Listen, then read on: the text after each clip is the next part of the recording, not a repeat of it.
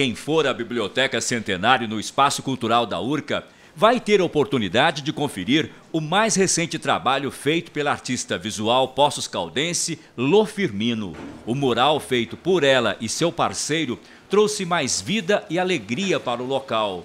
Esse trabalho faz parte das atividades culturais promovidas pela Prefeitura dentro do Festival de Inverno 2023. A importância desse trabalho para mim é muito grande. Eu venho me inspirando através das crianças mesmo da cidade, através das coisas fofas que a gente tem que pegar do dia a dia e trazer para a nossa realidade porque a gente tem tanta coisa ruim, então a gente tem que ter um pouquinho de arte ali no nosso dia a dia para dar uma flexibilizada ali na nossa mente.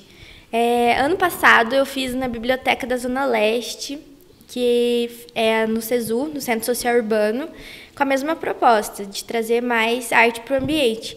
E agora aqui na biblioteca da URC a gente já está visando as próximas bibliotecas da cidade. Esse trabalho a gente fica muito feliz em fazer esse trabalho porque traz vida, traz cor nova ao ambiente.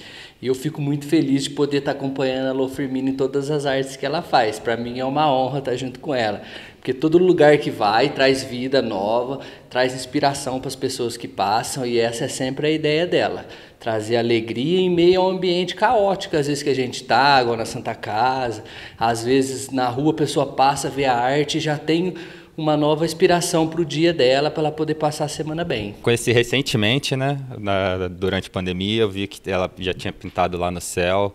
Eu acho que esses artistas que pintam, trazem cores para a cidade, ajuda, ajudou bastante na pandemia e vai ajudar mais ainda agora na, na biblioteca.